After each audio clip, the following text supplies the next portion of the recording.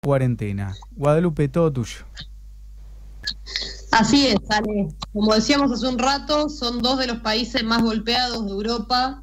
Las cifras son alarmantes, las cifras de contagios y de muertos. Eh, lidera Italia la cantidad de fallecidos con 29.079. Esto hasta el día de ayer, viste que todos los días cambia un poco el número. Tremendo. Pero bueno, estamos hablando de poco más de 29.000 fallecidos. Eh, tiene más fallecidos que España, pero menos contagiados. Eh, digo bien, sí, menos contagiados, casi lo mismo. bueno, no, casi lo mismo, no, porque no quiero, no quiero, a ver, unos miles de personas, por supuesto, son un montonazo, pero tenemos eh, 212.000 contagiados en Italia y 219.000 contagiados en España. Eh, ¿Por qué las cifras de Italia son peores que las de España? No solo por la cantidad de fallecidos, sino porque también son menos los recuperados en proporción. 82.879 recuperados. Eh, España tiene muchos más, pero bueno, después pasamos a España porque si no nos, nos desordenamos. Ahora bien, Italia fue el primer país de Europa por donde entró el virus recordemos cuando nos llegaban esas noticias sobre, sobre Venecia y el carnaval de Venecia que se suspendió, qué sé yo, por ahí ¿viste? fueron las primeras, los primeros datos que nos, que nos iban sorprendiendo y no entendíamos bien qué era lo que pasaba.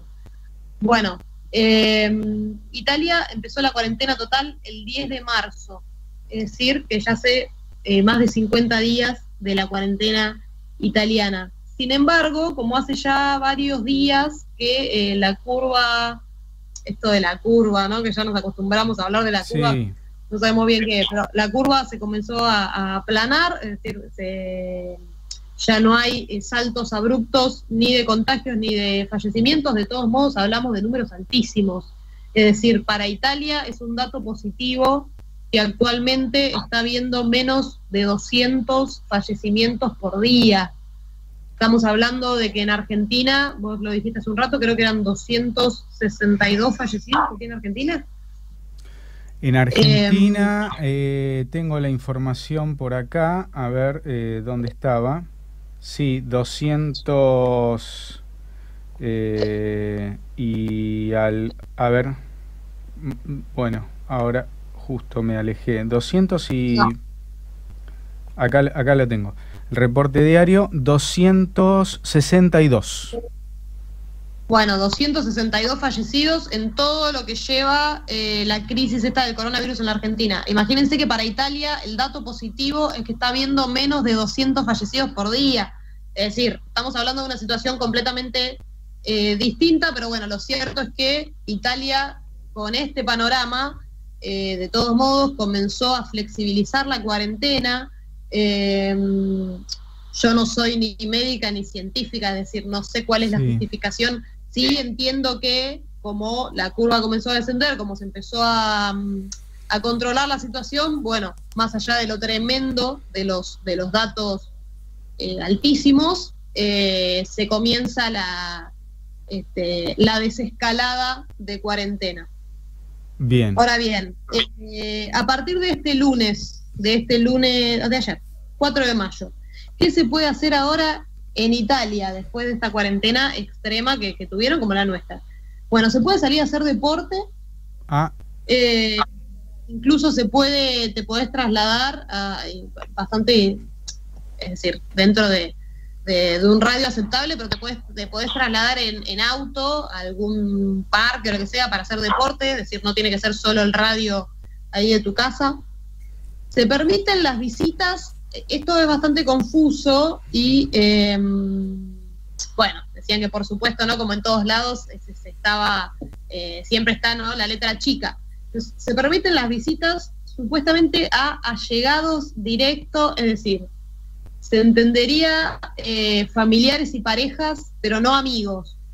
Bueno, es muy complicado, ¿no? este, la, digamos, quién va a estar controlando eso, pero en, teoría esto es lo que se está permitiendo, eh, visitas eh, uno a uno, digamos, no, no una cosa multitudinaria ni mucho menos. Y el gran dato económico es que a partir de ayer, 4 millones de personas, 4 millones y medio de personas Italia es un país con 60 millones de habitantes, 4 millones y medio de personas vuelven a trabajar. ¿Qué es lo que vuelve, lo que reabre? La industria textil, de, construcción y mayoristas. Además, los bares y restaurantes para llevar. Es decir, venía funcionando Globo, pedido, bueno, no, sé si pedido ya, pero Globo y todos estos, estos sistemas, y ahora también se puede ir a retirar al lugar. Decían que en Roma se están viendo largas colas para retirar el café en algunas cafeterías eh, clásicas y en realidad decían que como siempre se usó lo de tomarse el café ahí en la barra y seguir tu camino, no es tan distinta la imagen a la, vida cotidiana, si bien por supuesto distanciamiento social, eh, tapaboca, mascarilla, como se llame, y te llevas tu café.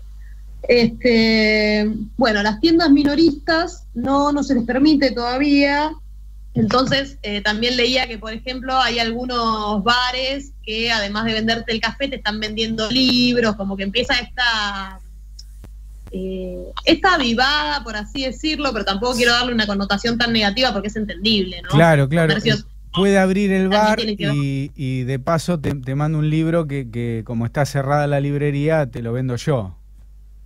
Claro, supongo que ahí se, bueno, se armarán estas café literario para sobrevivir. Café literario vendría a ser.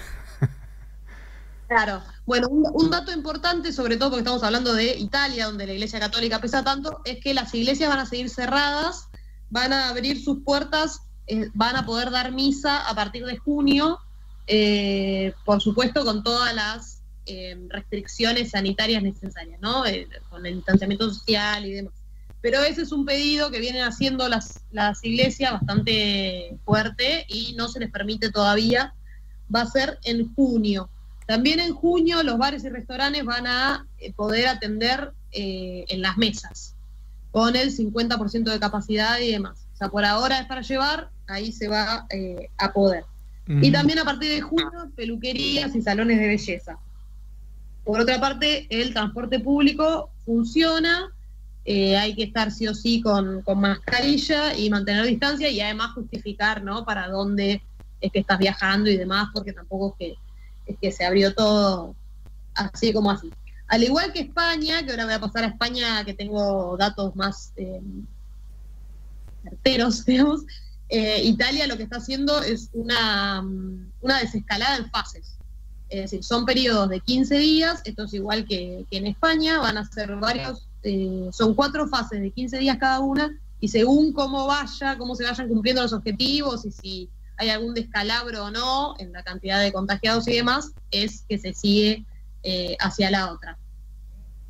En España, bueno, como te decía, cada fase durará eh, dos semanas y está planteado desde el día de ayer, desde el 4 de mayo, hasta el 22 de junio. Estas son las cuatro fases que están planteadas. España es eh, también un país con cifras alarmantes, tiene cuenta con más de 25.000 fallecidos al día de la fecha, eh, 219.000 contagiados, pero los recuperados son mucho más que en Italia, eh, 123.000 recuperados.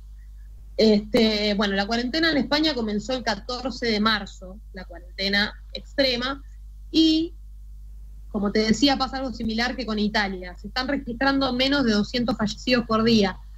Es muchísimo, de todos modos.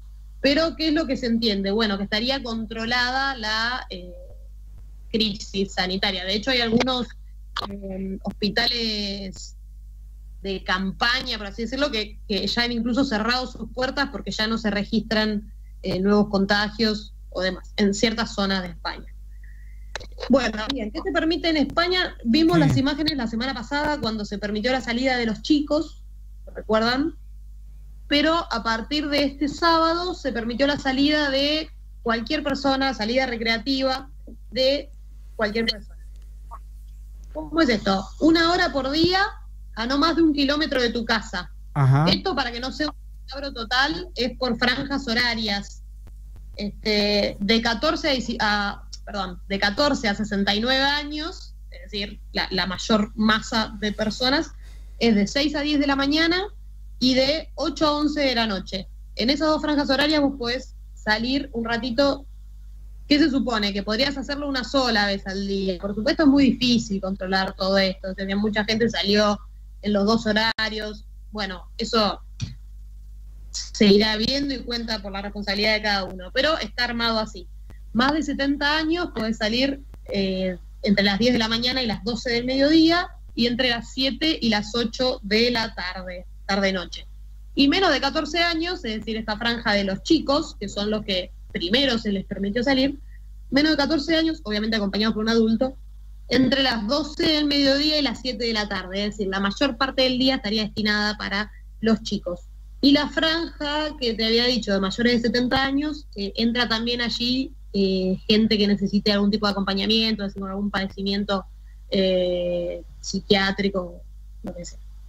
En localidades de menos de 5.000 habitantes, estas restricciones de franjas horarias no están. Se puede salir en cualquier momento del día, en realidad entre las 6 de la mañana y las 11 de la noche, pero se puede salir en cualquier momento. Me sorprendió la cantidad de localidades chiquititas que hay en España. Entra como con estas características, menos de 5.000 habitantes, hay 6.829 localidades. Un montón. Mirá. Bueno. Y, eso, eso hay que resguardarlo porque puede ser, eh, puede ser un retorno del virus, digo, de que esas localidades. Sí. Este, sí, bueno, lo que, lo que no se puede hacer en España igual es trasladarte de una localidad a otra. Con lo cual, ah. eh, se supone que están como resguardadas hasta el 22 de junio, cuando terminen estas cuatro fases, si es que todo se da, se da bien y si efectivamente se puede ir avanzando en las fases y demás, hasta el 22 de junio no te vas a poder mover de una provincia a otra. Difícilmente de una localidad a otra dentro de la misma provincia tiene que estar muy justificado y tenés que demostrar, por supuesto, no tener síntomas y demás. O sea, eso está siempre presente. Ahora bien, eh, te decía, ahora lo que, lo que se abrió ahora este lunes es eh, comercios de menos de 400 metros cuadrados, como peluquerías, bares mm. y restaurantes, los bares y restaurantes solo para llevar, eso es algo que... Sí, son parecidos en todos lados, las peluquerías con eh, poca, pocos clientes por día, con las medidas sanitarias y demás. Y a partir del 11 de mayo se van a permitir las reuniones de hasta 10 personas. Esto es un dato fuerte. También se va a permitir a partir del 11 de mayo que esos mismos bares y restaurantes que ahora solo abren para eh, como comida para llevar puedan atender en sus terrazas o sus veredas, sus espacios abiertos eh, al 50%, es decir, tiene que haber más distanciamiento entre los eh, comensales y demás. Recién a partir del 25 de mayo, estos mismos lugares van a poder abrir el interior eh, los salones comunes para que la gente pueda sentarse ahí a comer. Insisto que será también con menor capacidad eh, para mantener el distanciamiento y demás. Lo que más me llamó la atención es que a partir del 8 de junio, si todo sigue bien, si todo se da como está estipulado, a partir del 8 de junio van a abrir los pubs y las discotecas. Atención, a la gente que está esperando para salir a bailar. A bailar. Em, esto, sí, discotecas. A ver, ya te digo, hay que ir viendo de acá al 8 de junio si no hay un descalabro, si, o sea, si efectivamente se pueden mantener estas situaciones. Si se mantienen, las discotecas van a poder abrir al 50% de su capacidad, pero bueno, abrir. Vamos a ver, vamos a ver de acá al 8 de junio qué pasa. Lo que, lo que no va a volver hasta septiembre, a ver, lo que no va a volver como lo conocíamos hasta septiembre son los colegios, pero no todo, no todo el sistema escolar. Por ejemplo, a partir del 25 de mayo, como se van a ir, a ir abriendo varias ramas de la economía, en teoría van a comenzar los colegios para menores de 6 años, es decir, la, etapa, bueno, los jardines. Jardín, jardín. ¿Cuál es la justificación? Eh, es decir, eh, ¿por qué? Bueno, porque se prevé que si los padres van a comenzar a, trabajar nuevamente de forma presencial y demás, entonces son necesarios también los colegios como para dejar a los chicos.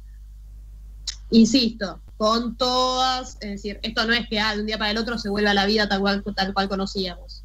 Distanciamiento, mascarillas, los establecimientos se van a abrir antes para que puedan ser eh, correctamente saneados y demás. Y también va a contar, es decir, vos vas a decidir si quieres llevar o no a tu hijo, esto va a ser muy... Eh, no creo que de golpe, bueno, estén colmados los jardines de infantes, no. Sí. Y, esto no, lo entiendo bien, la verdad, porque, o sea, lo leí, me llamó mucha atención, tendría que, quizás este, hablar con alguien que me lo explique un poco mm. mejor, porque también a partir del 25 de mayo van a abrir bachilleratos Mm. pero de forma voluntaria. O sea, los alumnos de secundario van a ir si quieren o no. Esto mm. me parece bastante extraño, ¿no? Porque cómo se va a regular el curso entonces si es... Sí, claro, son muchas cosas. Y sería un máximo de 15 alumnos. Esa es la información que tenemos, no sé bien. De todas maneras, eh, ya te digo, los colegios como ciclo eh, regular, etcétera, hasta septiembre no van a volver. Lo que pasa es que además Europa la agarra justo con sus vacaciones de verano, entonces en ese sentido es, más fácil eh, planear el calendario. Sí van a estar abiertos y por ahí en este punto se entiende un poco más lo de, lo de la asistencia voluntaria a los bachilleratos. Van a estar abiertos los lugares, los centros de, educación especial donde te mm. preparan para realizar la prueba. Uy, sin batería, donde te preparan para realizar la prueba para entrar a la universidad. Guada, eh, eh, igual eh, tendríamos que redondear en un minutito porque tenemos una nota pautada, así que si querés hacer un breve cierre. ¿Listo? Sí, sí, no, bueno. tengo mucho más. Bueno, es ver un poco cómo estos países que tienen cifras tan duras comienzan a salir de la cuarentena, con lo cual podemos tener esperanza de que en algún momento, eventualmente, si las cifras siguen estando controladas y demás, podemos volver a una especie de normalidad.